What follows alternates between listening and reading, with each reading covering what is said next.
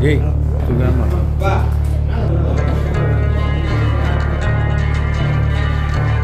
நெல்லூர் லட்சுமியுடன் எட்டு பேர். தொழிலதிபரை குடோனுக்கு கூப்பிட்ட கும்பல். மார்க்கபந்து போட்ட முரட்டு பிளான் முட்டு சந்தில் சிக்கிய மொத்த நெட்வொர்க் ரோந்து போலீசிடம் யதார்த்தமாக சிக்கிய சம்பவம்.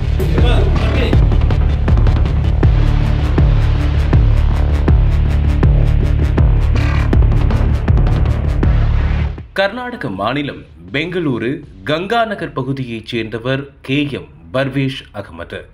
இவருக்கு ஐம்பத்தி மூன்று வயதாகிறது. இவர் பழைய வீட்டு உபயோகப் பொருட்களை வாங்கி விற்கும் தொழில் செய்து வருகிறார். இவர் சென்னையைச் சேர்ந்த இஸ்மாயில் என்பவரிடம் பொருட்களை வாங்கி பெங்களூருவில் விற்பனை செய்து வந்துள்ளார். இந்த நிலையில் கடந்த மாதம் வழக்கம் போல சென்னையைச் சேர்ந்த இஸ்மாயிலை தொடர்பு கொண்டு வழக்கம் போல பொருட்களை கேட்டுள்ளார். தற்போது என்னிடம் பொருட்கள் இருப்பு இல்லை என்று கூறிய இஸ்மாயில் வேலூர் மாவட்டம் காட்பாடியைச் சேர்ந்த சங்கர் என்பவரை தொடர்பு கொள்ளும்படி அவரது செல்போன் எண்ணை கொடுத்துள்ளார். இதனையடுத்து ஷங்கரை தொடர்பு கொண்டு பேசியுள்ள பர்வேஷ் அகமதுவிடம் தன்னை கடந்த ஏழாம் தேதி காட்பாடியில் வந்து சந்திக்கும்படி ஷங்கர் கூறியுள்ளார். இதனையடுத்து தனக்கு சொந்தமான காரில் நண்பர் மொஹஜித் கானுடன் பெங்களூருவில் இருந்து பர்வேஷ் அகமது வேலூர் வந்து சங்கரை சந்தித்துள்ளார்.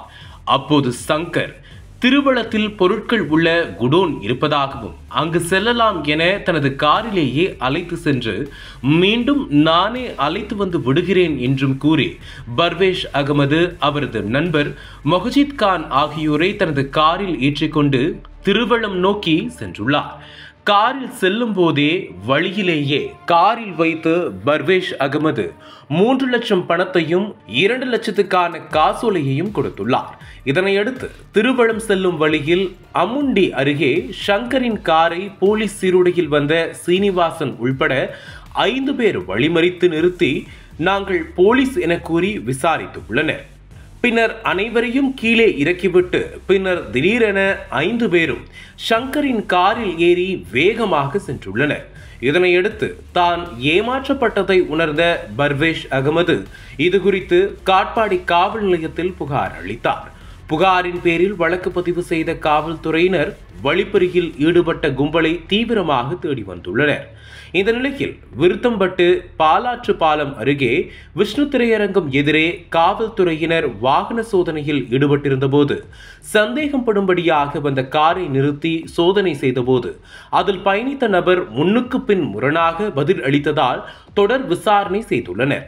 அதில் காரில் வந்த நபர் பெங்களூர் வியாபாரியிடம் வழிப்பறி சம்பவத்தில் ஈடுபட்ட ஷங்கர் மற்றும் அவனுடனான கூட்டாளிகள் என்பது தெரிய வந்தது இதனையடுத்து முக்கிய குற்றவாளியான சங்கர் உட்பட சென்னை திருவொற்றியூர் முருகன் வேலூர் சேன்பாக்கம் சிவா சந்தோஷ் காட்பாடி ஜாப்ராபேட்டை பொன்ராஜ் போலீஸாக நடித்த வேலூர் சலவன்பேட்டையைச் சேர்ந்த சீனிவாசன் சங்கரின் கார் ஓட்டுநரான ராணிப்பேட்டையைச் சேர்ந்த மணிவண்ணன் மற்றும் இவர்களுடன் ஆந்திரா நெல்லூரைச் சேர்ந்த பெண் லக்ஷ்மி ஆகிய எட்டு பேரை கூண்டோடு போலீசார் கைது செய்தனர்.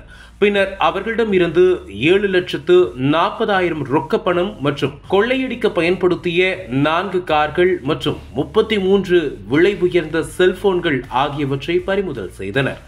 மேலும் அவர்களிடம் விசாரணை செய்தபோது இந்த கொள்ளை சம்பவத்திற்கு மூளையாக இருந்து செயல்பட்டவர் ராணிப்பேட்டை முத்துக்கடை பகுதியைச் சேர்ந்த மார்க்கபந்து என்கிற ஷங்கர் என்றும் இவன் பல்வேறு கொலை மற்றும் கார் கடத்தல் போன்ற வழக்குகளில் தொடர்புடையதும் தனது கூட்டாளிகளை வைத்து வழிபறி கொள்ளை உள்ளிட்ட பல்வேறு குற்ற வழக்குகளில் ஈடுபட்டு வந்ததும் தெரிய வந்துள்ளது மேலும் இது தொடர்பாக காவல்துறையினர் விசாரணை மேற்கொண்டு வருகின்றனர்.